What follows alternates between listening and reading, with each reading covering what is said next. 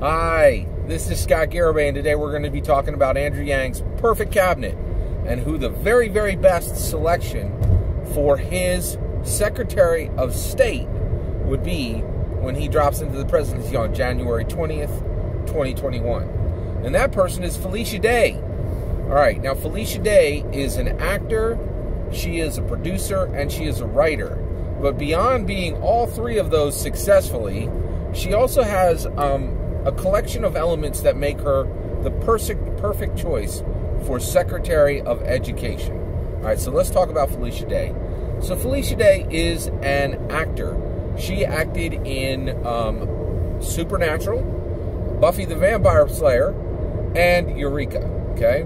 Now, one of the things I think is really unique about Felicia Day is uh, she's um, she has many attributes that would make it that would make it clear that she's going to be a good actress, right?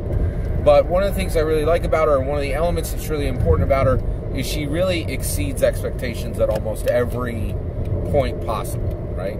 So I think uh, Felicia Day would have had no difficulty remaining an actress and just doing acting work, right?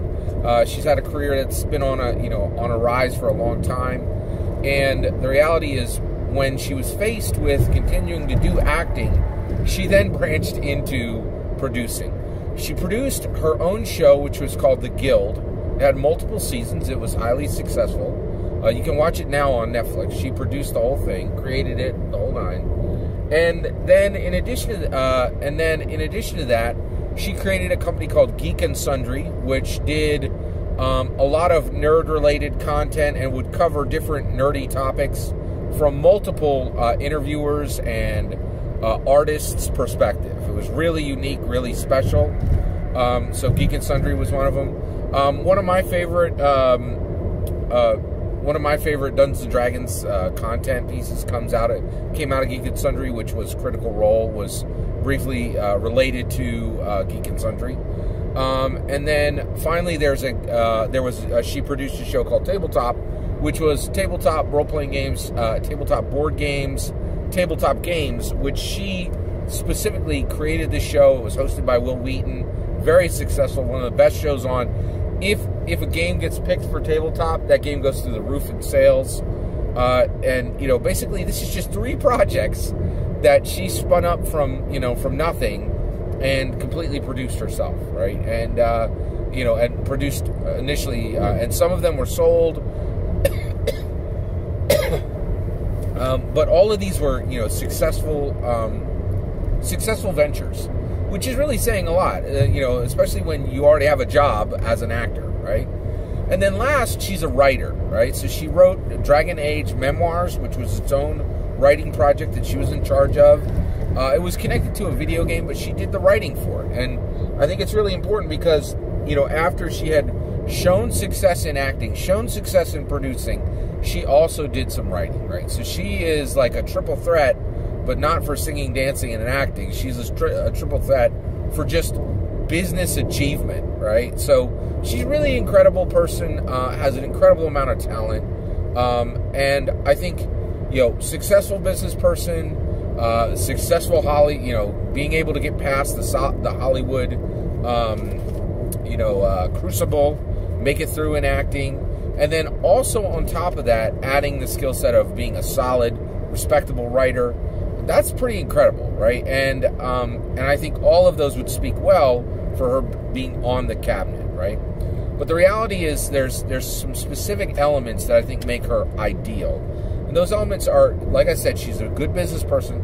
She's also a mother, right? So she was a mother. Uh, by the way, the things I'm going to talk about now, I read her. Um, her autobiography. And she talked in depth about these things in her autobiography and just really explained, you know, um, a lot about herself.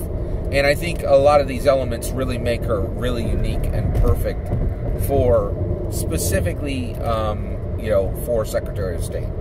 So she was a mother when when being a mother was incredibly difficult. None none of those other uh, achievements that I talked about being an actor, being a successful actor, successful producer, or a successful writer. You know, motherhood is not often attached to those things simultaneous to all three of those things simultaneously, right? So she knows. I think she knows a lot about modern motherhood. Like, what is it like to be a mother when you have a whole lot of things that you are trying to juggle, right? The other thing is. she has struggled with mental health issues, and she's been really open and honest about this, and has talked about how her mental health issues have really, uh, you know, essentially made it very difficult for her to achieve the things she did.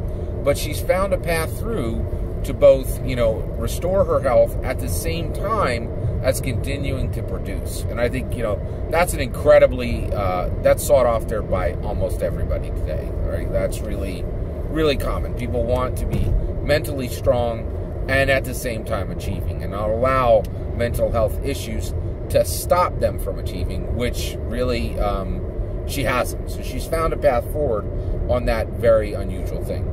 The other thing is uh, she really exceeds expectations. Like like I said, when when when somebody tries to box her in, when you know when when she saw that you know she was only going to be acting and that she was going to have you know only a limited amount of roles, you know when she when she was being you know pigeonholed for particular roles, she created the guild herself so that she could have something which where she was creating her own roles, right?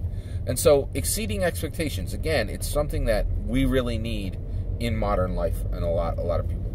The other the other thing is is she is a champion for womanhood, for being a, a woman and being a modern woman. Um, I really think she's been a champion and proven herself as a champion for um, for womanhood, right? And so all of these things together, in my opinion, that is a perfect stew for a modern Secretary of State. And frank, I'm sorry, excuse me, a modern Secretary of Education. And frankly, we, right now we need somebody that perfect in that role. And the reason why is uh, right now we have um, Secretary Betsy DeVos, and there's a lot of stuff to fix, right? And the thing is, um, again, one of the things I want to just remind you is like, why wouldn't you pick you know some really good principal, right? Well, the reality is, I, I think all of these cabinet roles, the secretary roles, you need somebody who's charismatic, you need somebody who's intelligent, somebody who can get things done, and they're going to connect a network of network uh, of experts. They're going to take in a lot of information, and then they're going to make decisions based on those on those um, those on the information that comes in. Whereas I think you know people who are experts within these fields more and more we've reached a point where you know we really are not trusting experts within specific fields. And one of the reasons why is today a lot of these expertises go so deep you are very very likely to get someone who is myopic and might very well focus on one thing right?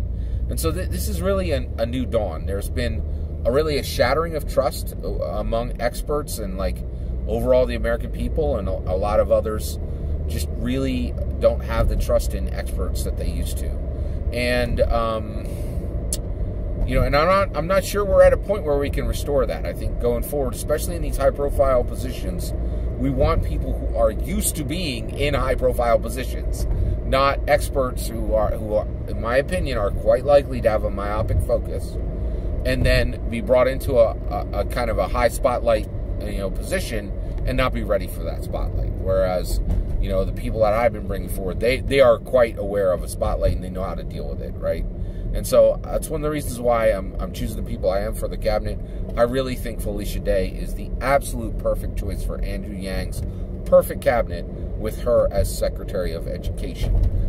Uh, that's my opinion. I'd love to hear what you think. Who do you think would be the best uh, choice for Andrew Yang as Secretary of Education? I'm sure it's no one but Felicia Day. Uh, but I'd love to hear your comments. Please let me know in below. Please consider liking and subscribing, and have a wonderful millennium.